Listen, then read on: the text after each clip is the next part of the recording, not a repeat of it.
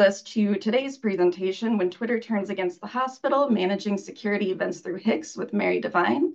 So Mary, I will let you share your screen now while I pull up your bio sketch and tell everyone a bit more about you.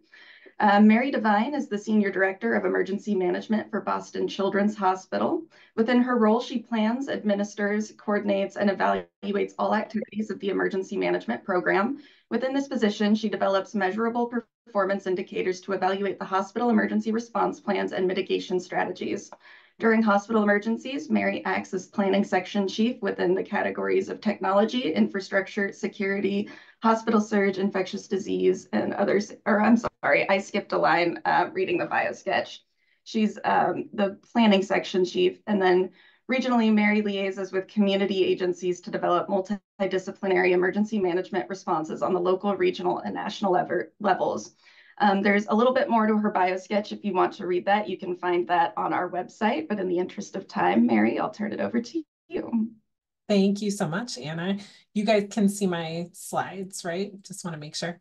Yeah, we can. Excellent. My name is Mary Devine, and I'm here from Boston Children's Hospital, and I'm here to talk about some security events that has been impacting the hospital since 2022. Um, I have several different types of security events we're going to talk about and how we manage that through our hospital incident command system. First things first, I do have to, oh, let me, there we go. First things first, I do have to do a little bit of a disclaimer here. Um, so this presentation is specifically intended to share best practices um, for, uh, for managing security events as experienced by the hospital. I can't comment on any care that is currently provided at Boston Children's Hospital, and I cannot comment on any active investigations that are happening um, and associated with the events that I'm going to talk about today. If you want to share this permit, this presentation, I know we're recording this, but please reach out to me or a member of my team um, to let us know if you're you're sending this uh, outside your hospitals, especially. Okay, so today I'm just going to give a really brief background on Boston Children's Hospital. then I'm going to go over the security events that have occurred starting uh, 2022. Um, this includes the management of harassing phone calls and emails, uh, bomb threat responses, protest responses, the institutional remediation that we've done here at Boston Children's, and then hopefully leave a little time for questions as well. Just a little bit about Boston Children's Hospital. So we are a freestanding pediatric hospital. We have 477 licensed inpatient beds. We see a lot of inpatients. We have a lot of surgical procedures. We have several different outpatient sites and eight licensed satellite sites. We do have 26,000 employees, which is a lot of employees um, based on the size of our institution, but this is also because we have a very high uh, level of research that we are associated with. Um, and we've been ranked number one or number two last year um, on US News and World Report's Best Children's Hospitals uh, for 13 years in a row. And I bring this up because We've been highlighted at a national level for at least 13 years. We're frequently in the news for certain things, and that's really raised our profile uh, at a national level. So I'm going to talk a little bit about um, different events that we've responded to in the past. Um, my presentation today is focused on uh, specific threats that were sent um, to the hospital starting in 2022, but prior to 2022, we had many different significant security events. We were attacked by the, um, the group Anonymous for a cyber attack in 2014. Um, we had several protests at our hospital from 2016 through 2019 because of a garden that we had in our in our hospital that we had to build over. Um, we have had several high profile cases that have been nationally recognized that that um, had security events associated with it. And uh, even as recently as last year, um, we were targeted uh, by Iranian backed hackers um, and partnered with the FBI with this as well. So we're we're not a stranger to security events, and this is on top of everyday security events that I'm sure everybody experiences in their hospital. Um, we had many different uh, SOPs in place to deal with security issues. Um, but what we were dealing with was a little bit more significant than, than what we've seen in the past. So I'm going to go ahead. Oh, yeah. Let me go back. Give this one second. This is our um, background of the situation. So let's see if it goes. And it doesn't. Oh, it's taking just one second. And that's okay if it doesn't load. this is just a news report. Oh, there we go. It's very brief.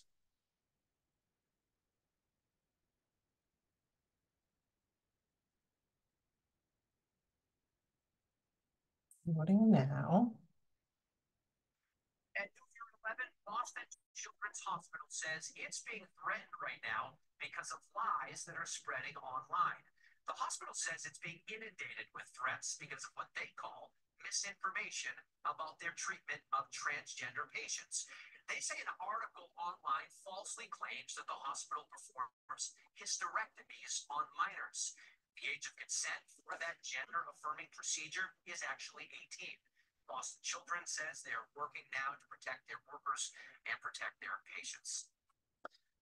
So basically what happened, um, we had a an educational video with some of our gender affirming care um, that was taken from our uh, clinic specific website. It was spliced in a number of different ways. And then it was posted um, through Twitter at the time, X now, and social media platforms that posted a lot of not only misinformation, but widely spread to different um, right-wing political groups. Also, when this information was posted, a lot of uh, individuals who have a significant millions of followers posted on the um, on the post to call or send emails to Boston Children's Hospital um, to threaten them for what for the care that we provide. This was a significant disruption into our operations and started a uh, series of security events that we've had to deal with since 2022. Um, and the most recent bomb threat that we had was actually last week. So we continue to deal with different threats um, from different groups because of this issue. I'm not going to go in depth with this timeline of events, but our um, our activation really started in August of 2023 when we did start receiving just an overwhelming number of threatening calls, threatening emails that escalated to bomb threats the next month. Uh, the bomb threats, like I said, have continued and then we've also had to respond to significant protests at the hospital as well. So I will, within this within this conversation, talk about the different strategies that we have used for each of those security events. First, I will address our, our harassing calls and email response. So in, in August 2022, um, we had high, high, high, high volumes of calls um, that were harassing, threatening, violent in nature that were going to our page operators, various clinics, um, specific staff, and also patient relations. These calls came in not only from phone calls, but also through emails. Any any uh, public facing phone number or email address was utilized um, we were experiencing such high volumes that our wait times for certain clinics exponentially increased, um, as well as just our email uh, our email capacity exponentially increased as well. Um, not only was it an operational concern, but anybody who was answering phone, the phones, whether they had anything to do with a specific targeted clinic or not, now had to deal with violent, threatening phone calls that that were very aggressive. So this started to impact operations substantially. We were activated as a hospital incident command system team uh, when the, the phones and the emails um, escalated. When we activated, we tried to categorize our concerns into four different areas to try to address as functionally as possible to make sure that hospital operations were maintained. And these are the different categories. So we looked at personal security of our clinicians, um, our clinic security, operational functionality, and then cybersecurity. And I'll go into these different categories. Personal security is was our utmost concern.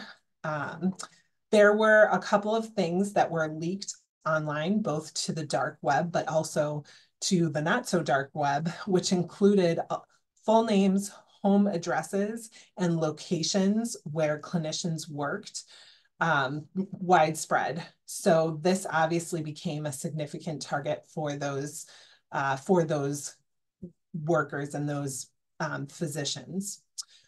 We, in the upcoming weeks, there were multiple threats made to these physicians. Um, there were uh, other security issues that happened at their homes as well.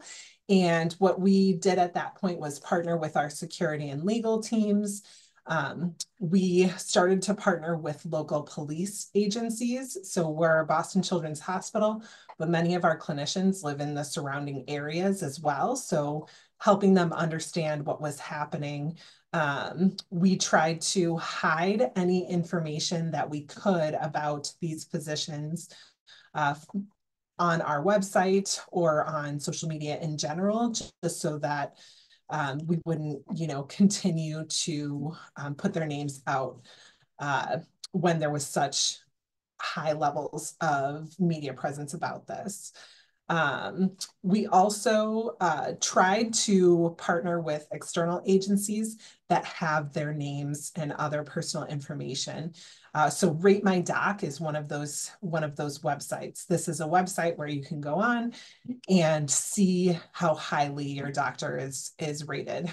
That is an external website, um, and at that point, the Rate My Doc website were was also um, being frequented by all of these individuals who were trying to lower the rating of the doctor and leave really um, threatening comments on that as well. So as you can see, we were dealing with not only what the hospital uh, was experiencing, but there's all these different offshoots of um, impacting, you know, these clinicians' lives and also the rep reputation of the hospital as well. The second category that we focused on at the time was dealing with clinic security.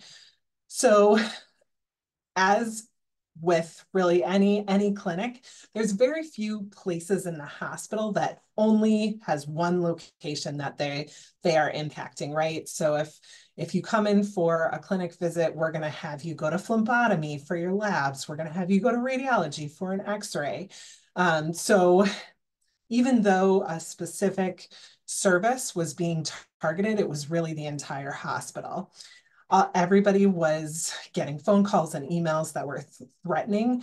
But um, as far as a security concern, it really could happen at any place that um, that uh, does patient care. So there were significant security concerns for all clinics and procedural areas. Um, we had all staff really dealing with the significant stress in answering these phone calls and dealing with these irate individuals. Um, so there's a couple of things that we we did in partnering with security. So there was an increased security presence at all sites, um, substantial uh, increase of, of security presence. This includes even when where uh, patients go into clinics.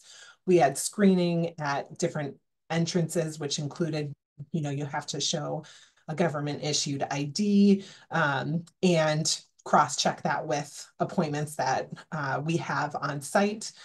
The hospital went into restricted access in certain buildings, and, and that continues today um, so that we're funneling people through one entrance. And uh, additionally, we did offer security escorts to cars in different areas of transportation. We're in Boston, so many people use, you know, subways and, and other forms of, of uh, transportation. So making sure that people feel comfortable in getting where they need to go when they're leaving, especially if it's at um, an odd time. The third bunk bucket that we looked at was operational functionality. So as you all know, we need to continue to see patients. We need to make sure that anybody calling the system is gonna get to where they need and be able to schedule appointments or talk to their care team. Um, because of the such an increase in phone calls and emails, there were a couple of things that we did system wide to help capture all of those emails and phone messages in a centralized place to be able to monitor them, but also keep them out of um, personal inboxes.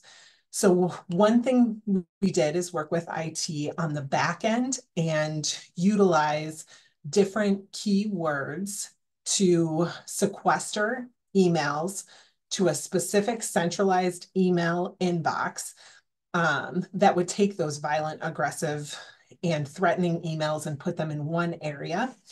That email box was then monitored 24 7 to understand if there were any significant threats that needed to be escalated or um, or you know, have the police contacted.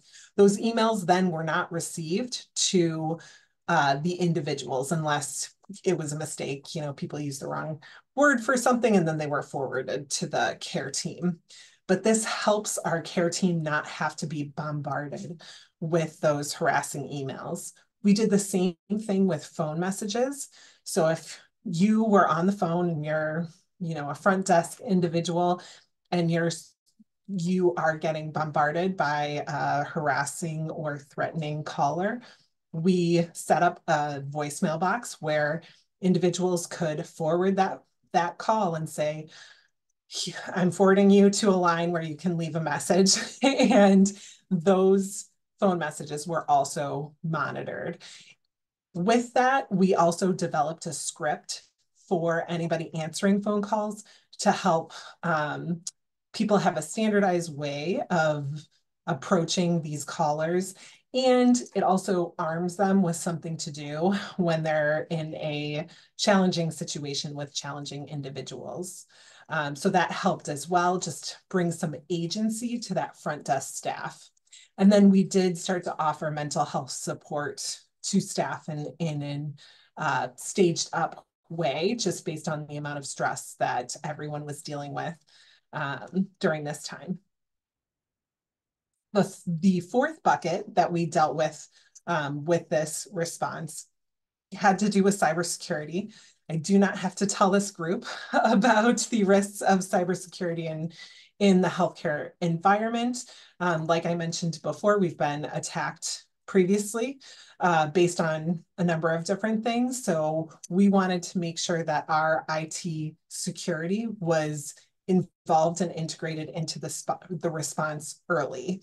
Um, so once we knew that this was going on, we made sure that they were invited to briefings. We made sure that, um, you know, we had uh, a touch point with them to understand if there was an uptick in threats or a need to implement other cybersecurity measures. Um, and then additionally, our legal department worked with consultants to further investigate uh, social media and trends and understanding um, what was happening outside of our institution um, for social media campaigns, because that is a whole other world. Um, and we were trying to understand, you know, the threats that were coming in, but also uh, who was posting, how they were getting information, that information as well, which was extremely helpful. So um, the media presence was very substantial as uh, things kind of um, escalated through our social media presence. More and more regular media also got involved. So um, there were many national news stories on um, on our care here, but also on the threatening messages. Every time there was a large scale, you know, CNN or um, Fox News or whomever um, media campaign, we would see an increase in the threat, the threats that were directed at us. Uh, additionally, we worked very closely with our marketing and communications team throughout this uh, event. We uh, implemented a couple of things with them. So one, we had to shut off a lot of our social media presence because if we are on Instagram or Facebook and and promoting something like a blood dr drive, right, or um, any fundraising uh, activities, the comments would have been completely overwhelmed by uh, aggressive and threatening comments. Um, so it was determined to shut that off for, for a period of time. We also had a lot of discussions with our C-suite and our marketing communications team to understand if there was a need to release a statement or not, um, knowing that really any type of uh, messaging that went out, we would have that, that increase in, in threats. Um, so that was a conversation that continued. We ended up uh, doing a, um, a, holding statement after a period of time. And that was once again in, in collaboration with our marketing and communication, as well as uh, many senior leaders. So that is our harassing phone call and email response. I'm going to go ahead and continue with our bomb threat responses. That started in September of 2022. Um, so a little bit about the bomb threats that came in. Um, we have had, uh, we had 11 bomb threats from 2022 uh, to the end of 2023. We've had a couple since 2023 as well. Um, they come in from uh, various methods. We've gotten phone calls, we've gotten emails, we've gotten bomb threats through our scheduling app on our external website. Um, we've gotten bomb threats on our external website through the comments section. And my least favorite is an email directly to the police and the press. And those emails didn't even include us. So we didn't even know that there was a bomb threat uh, until the police showed up at our hospital. So really these can come in in, in a number of different ways. Uh, there's various levels of information from the caller and the sender. And what we have found is these threats really follow increased media attention, um, either from our, our uh, targeted clinic or from political cycles, or if we get into the news about any, any type of situation. Um, so we've, we've started to anticipate that and uh, in different ways as we plan. I'm going to specifically talk about our first bomb threat that happened in the summer of 2022. Um, as all of you have uh, a profession in uh, emergency preparedness, I can tell you that this is one of those events where literally everything went wrong. Um, and I hope that everybody learns from this as, as I, that is our goal, right? We just want everybody to learn from any, uh, any type of challenging event. Um, just a little bit of background from our hospital in 2015 through 2018, we actually had a significant series of bomb threats called into our organization. Um, this was through a robo caller. Um, we knew the source of this. Um, we had like 20 during that time frame. So at the time in the summer of 2022, we felt like we had a pretty good standard operating procedure for bomb threat response. A call would come in, we would call um, the operations center would call the police. The operations center would call our administrator on duty. We'd set up the hospital incident command system. The police would come, the dogs would come, they'd walk the floors, and then they would leave. We would try to um, really make sure that our, our staff knew what was, going on, but it was not a disruption in any way, shape, or form. Um, that was our old standard operating procedure, but the world has changed and we are changing with the world. Um, so in 2022, uh, we had a our page operator receive a, a bomb threat at 7:45 p.m. and immediately Boston Police was notified. Um, the our administrator on duty and emergency management teams were not notified until at least a half an hour to 45 minutes later. So if anybody here has uh, experienced that delay, um, that makes the response so challenging because the police have a three minute response time here in Bo at Boston. Um, and we weren't even aware that there was an issue uh, for 30 to 45 minutes. We finally got on a briefing at um, 8.45. This is an hour into the response. And then we started to, to go through our, um, our regular bombing standard operate, our, our bomb threat standard operating procedure. Um, additionally, when the police came on site, they walked right into our ED and they said the hospital is closed um, for a security issue. Our ED did not know why, obviously, because they received no messaging um, about this particular event. And we, being a pediatric hospital, uh, are really important to keep open for a variety of reasons. We are pediatric transfer center for all of New England. Um, you know, we we really need to stay open unless we physically cannot stay open or there is a substantial issue. Um, we finally got a hold of our security director whose phone was broken, which is why we had not been escalated to within a 45 minute period and uh, tried to understand what was happening at the hospital.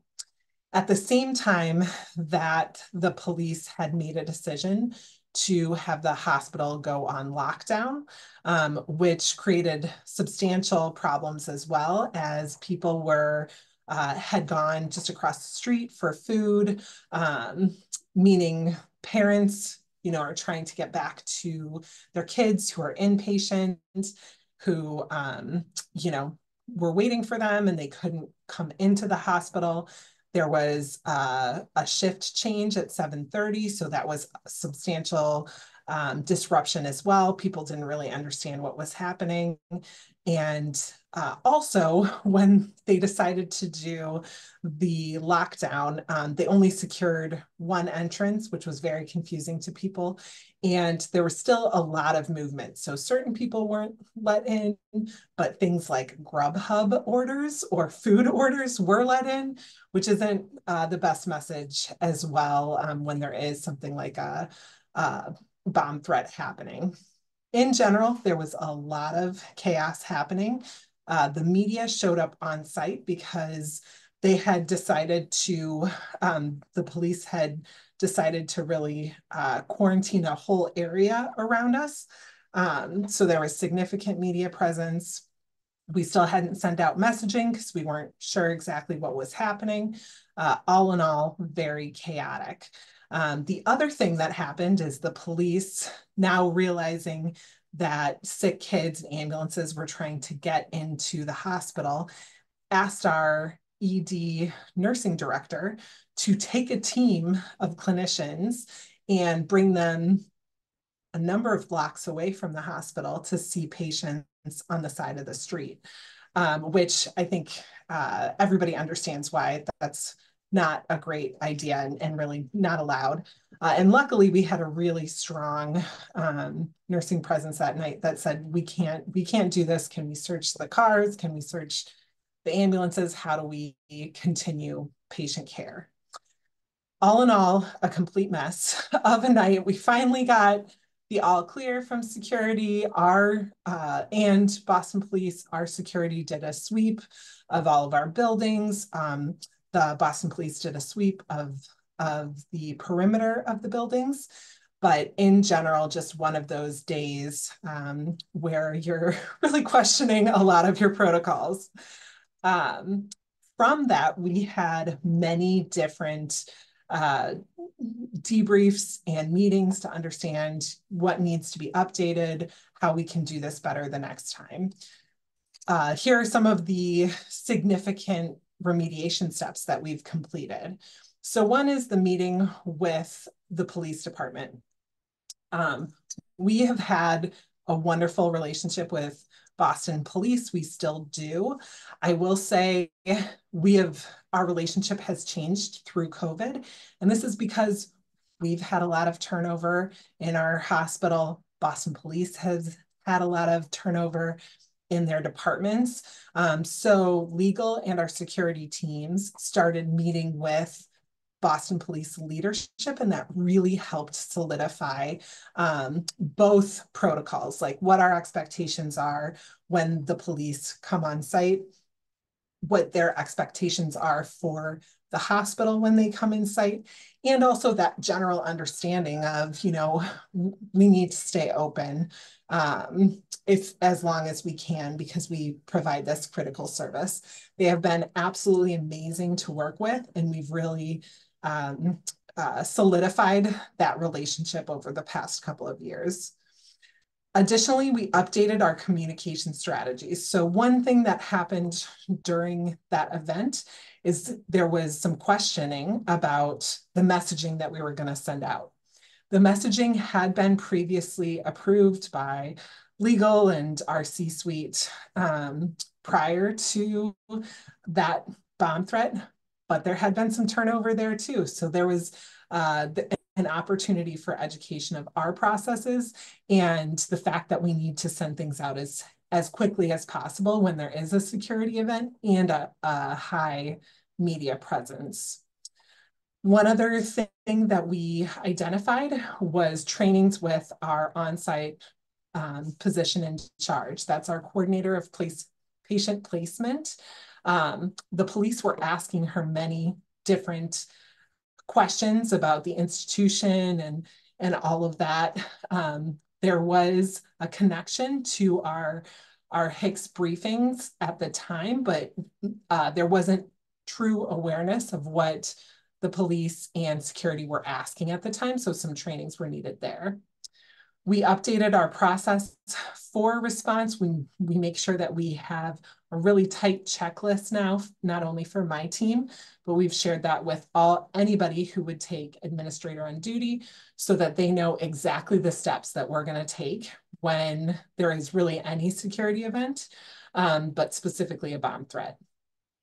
Additionally, we created an operational checklist that's on your slide here um, that helps us determine that what the institution is doing operationally based on the information that we currently have. So, this helps us as an organization before we talk to police or fire to recommend are we closing buildings? Are we still open? Can the ORs continue? Can the next pr procedure begin? Do we have to evacuate? Are we accepting transfers? Can clinics continue? So we have this checklist that we can go over with, you know, our administrator on duty and our chief medical officer to help inform because any response agency that comes doesn't understand that we're doing a transplant in the OR right now. We can't shut it down. Um, so that helps us inform that conversation. And then strategies for updating executive leadership, we've updated that as well. Um, it's a great day when senior leadership is informed of a situation that is developing on the news before they get the internal notification. So we've really tried to um, clarify that and, and understand those escalation steps uh, very clearly. And then we updated those, those protocols. Um, now we have better command and control. We have clear communication channels that have been pre-approved, and we have that, that connection with the police department, which, like I said, is just really important. And our staff now know, after going through this multiple times, what to expect from us, what communications to expect, what it means, why we can say certain things. Um, so uh, that has helped increase our confidence in our response from our staff, but also have our staff understand, you know, what the situation is and what actions they might need to take. Next, I'm going to go into our protest response. So the um, harassing phone calls and emails started, then that escalated to the bomb threat response, and then we had a number of large scale protests at our hospital. Um, this initiated by uh, Twitter and X and social media platforms, individuals having large presence um, and saying that they were going to come to our hospital and protest. Uh, our first protest specifically had one social media personality that had millions of followers and he um, posted the date and said, I'm going to be at Boston Children's Hospital on this date. Um, please uh, come join me and, and join in. Um, and a protest was happening. uh, there are a couple of challenges with this. Specifically, timeframes were not posted. So we know now that there was also a you know, Facebook site. And if people emailed him, he would email specific information about that. Um, but when do you set up your command center? When do you tell people to, um, you know, start utilizing different protocols if you know the day, but not the time and things keep changing. So that was challenging. We were unsure of groups that would support the individual. So the challenging thing with protests is it's frequently not only just the one group that comes and protests, but all of these different groups that are like-minded that come with this one group and it just exponentially increases the amount of people that might come and protest. Um, and communication is challenging. There's a need to address the situation and let our staff know what's going on, but we don't want more information to go out there in the world and get uh, attention to gain more pr protesters.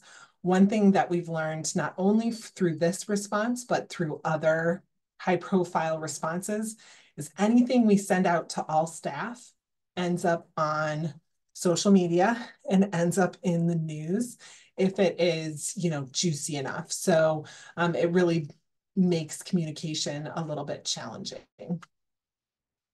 So for our um, for our uh, planning for uh, significant protest, right? We have our key stakeholders here, which includes the police department, hospital security, our hospital incident command system, media relations, our, our C-suite, ambulatory leadership, and legal. Um, we had many different significant concerns, right? So staff, patient, visitor safety, um, the ability for patients to continue to access our hospital main building. Um, we, Boston Children's is in a specific section of Boston. There's not a lot of space. We are up against, literally connected to many different other hospitals in the area. There's not even a huge uh, green space for people to um, linger around. So that, that access to our building was a key concern. And then we need to maintain operational access, exits and entrances. And then we have to plan for the, the worst with protests unless there is a public Facebook page or something of that nature, you don't know if it's going to be five people or if it's going to be, you know, 2000 people. Um, so trying to go through different scenarios to say, okay, is there going to be a, a point at which where we cancel appointments? Is there going to be a point at which we have to go into visitor restrictions or not allow people to leave the hospital? What happens if a fight escalates and there's um, violence in different ways? How are we going to respond to that? And then for communications, we decided upon an advisory uh, to staff and with specific information about how, how to access the building. We considered different forms of patient communication acknowledging the situation. And these were crafted beforehand, approved beforehand, um, but not distributed until we knew that patient care was going to be disrupted. And then our marketing and communication also worked to uh, prepare a, a holding statement for press inquiries. And let's see here. Uh, this is the messaging that we ended up sending out. Um, so at a high level, we decided to inform individuals about the, the protest that was happening, why this was happening, and then specific actions for individuals who are coming in that day. So utilize different um, different entrances to come in. Don't engage with protesters. Avoid wearing identifiable information outside the hospitals, and then uh, contact communications or security with any um, security concerns. So we've had five protests in total. One had up to 200 uh, attendees. As you can see here, we just don't have the space. So the police are um, put up barricades uh, so that the busy road that you see here could be uh, accessible.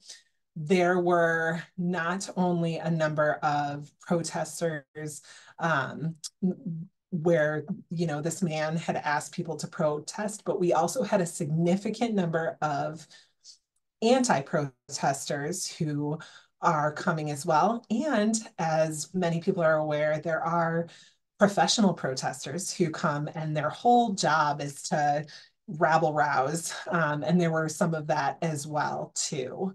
Um, so this really did require a substantial amount of planning and support. Uh, just some best practices here, start planning early, track media attention, partner with police early and plan, plan for multiple scenarios.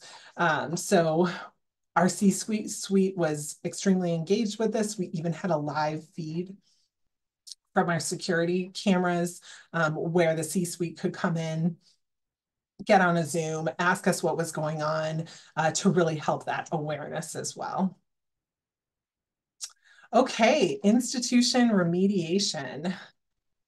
Um, so we've had a significant number of events happen in, in the last few years. Um, in for all of these different uh, scenarios, we really wanted to make sure that we had sufficient debriefs, right? We're, we're utilizing normal processes for this. We're uh, creating action items, we're closing them out, and we're training on new protocols. So that's our emergency management hat, and that's what we do any day of the week.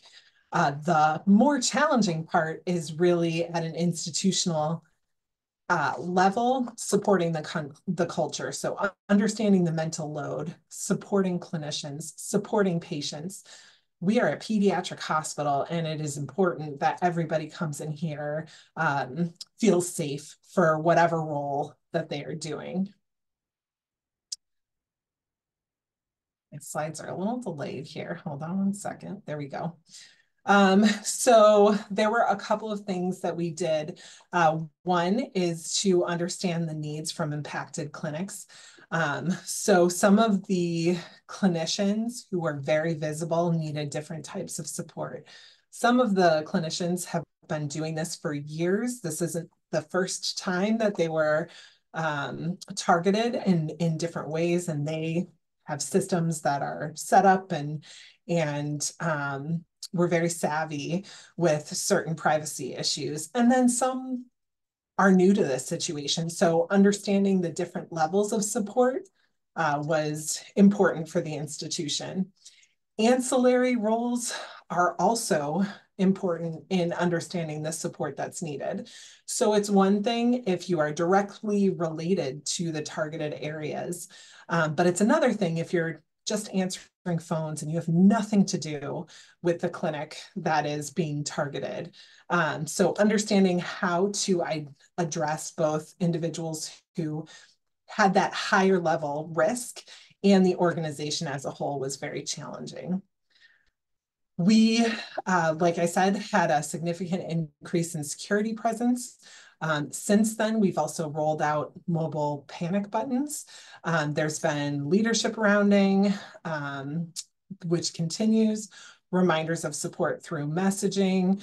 Uh, we've senior leadership has also started like coffee carts, free coffee, um, and uh, those types of, of soft touches that I do think people really appreciated during this time.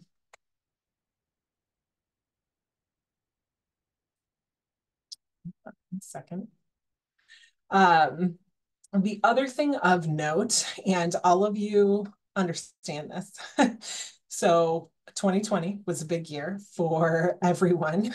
um, right? We we had to go through covid and then we had to go through omicron. We've had significant capacity increases over the past two years.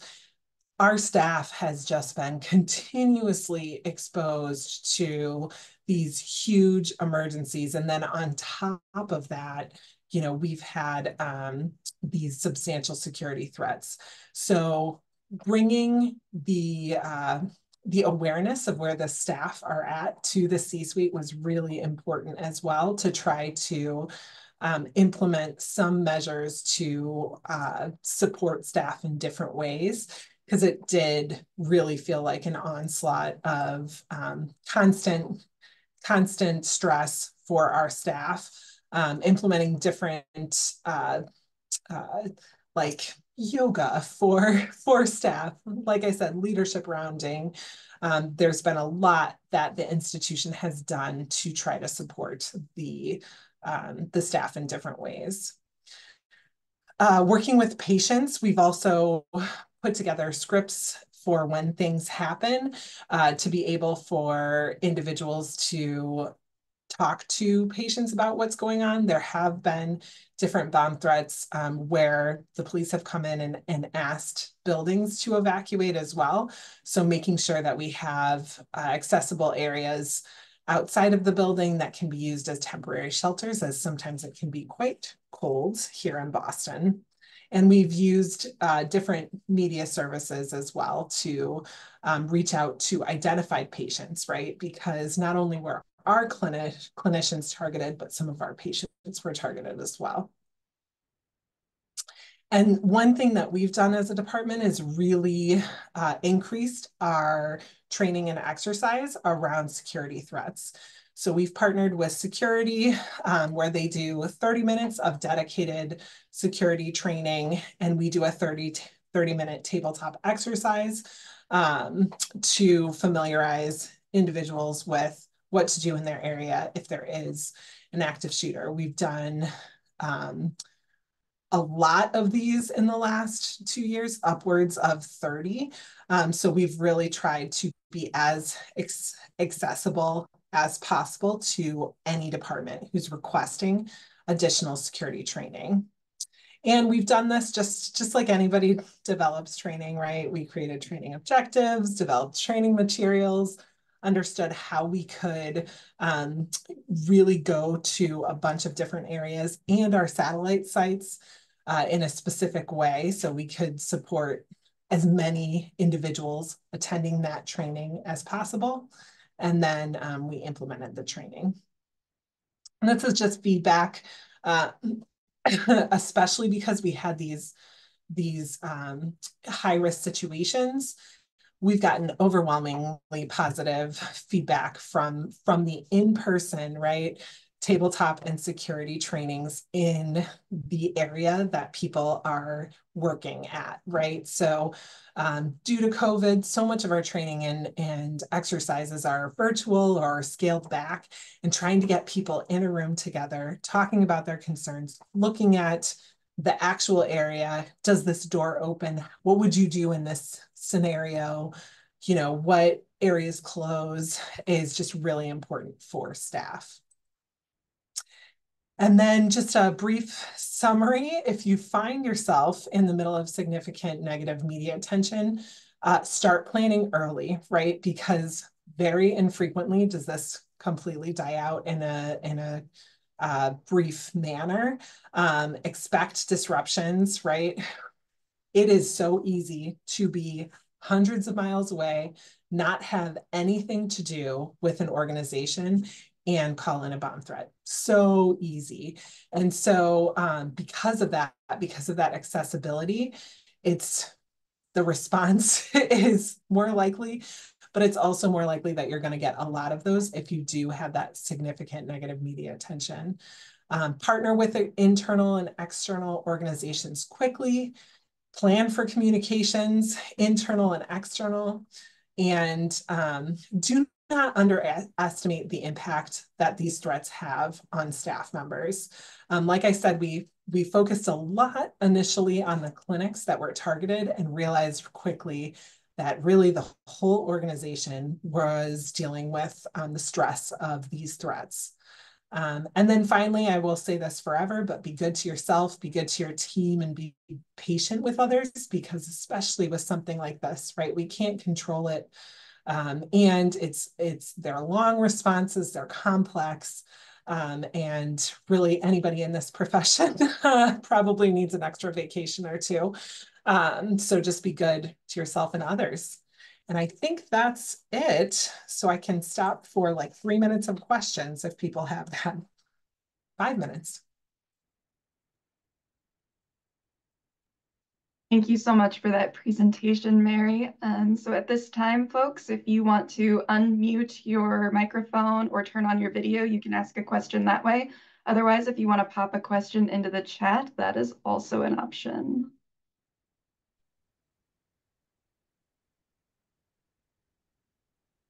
Mary, first of all, thank you. That was outstanding and fascinating, and um, really sorry you guys had to go through that.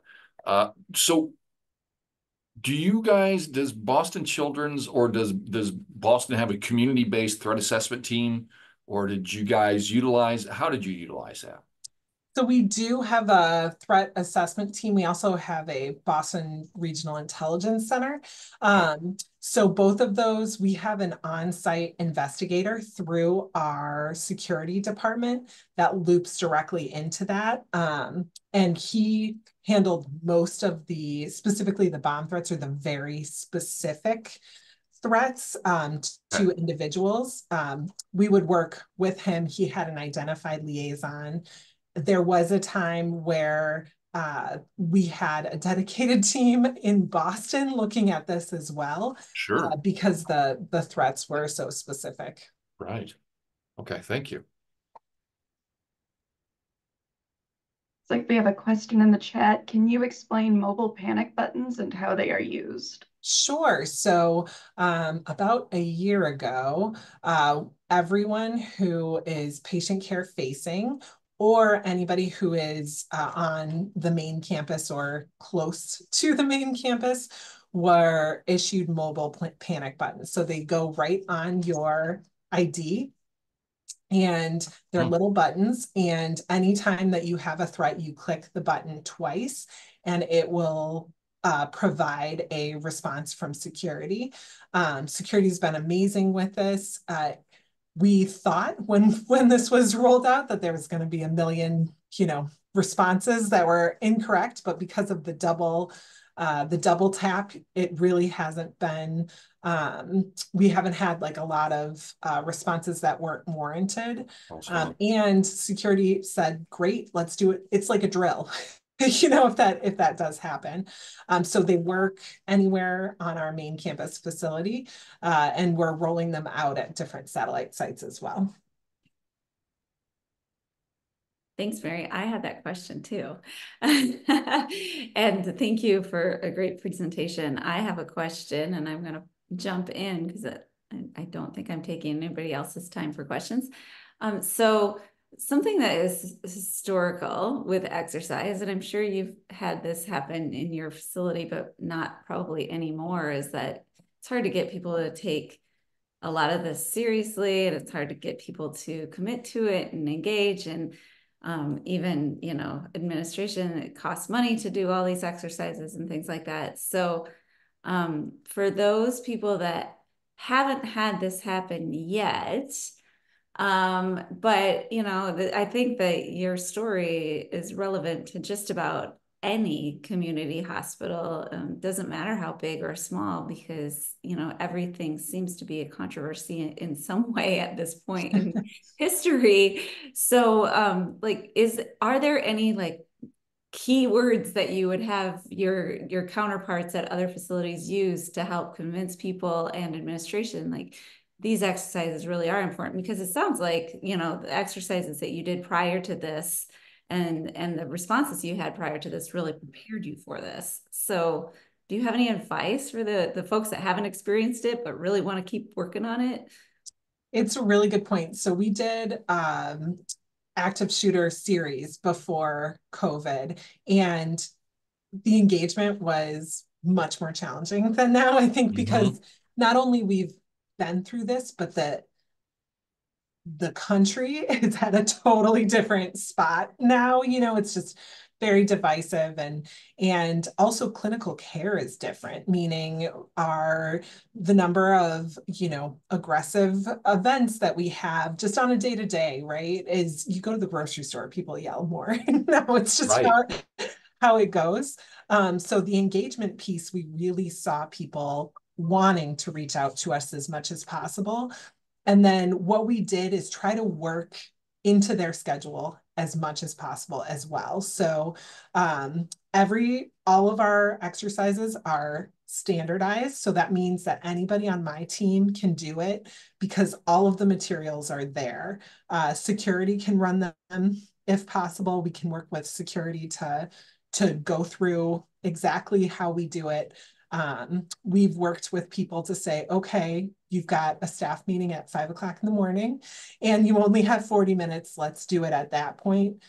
Nine times out of 10, they want more. Um, we'll go once and they'll say, can you come back in six months? I want this training. Uh, they, they really just appreciated it. Um, but we tried to make it, we call them quick hits too. Like We'll go wherever you are. We'll go at whatever time you want us to be there, and we'll fit into any schedule that you have um, to try to you know help with that because the burden it, it is a burden for sure and the more resources you put into the exercises the less you're doing for other things you know so any templated right. model you can do uh, just helps so we put a ton of work on developing it and now it just it just kind of runs itself um, as well so that helps awesome thank you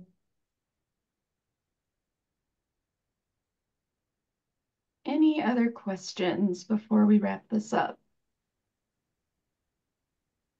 Going once, going twice.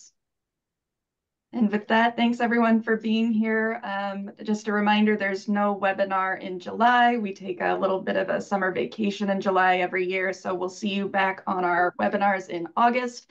Uh, we'll get the recording of this presentation sent out to you um, probably tomorrow afternoon, so keep an eye on your inbox for that. Um, and if you have any questions that you didn't have a chance to ask today or um, that you think of later on, just send AHEPP an email and we'll make sure to get those to Mary. Mary, thanks again for such a great presentation. We really appreciate you taking the time uh, multiple times to speak to our audience and share your knowledge and expertise. Thank you. I'm so glad we started with flying spiders and cicadas as well. There's no better way.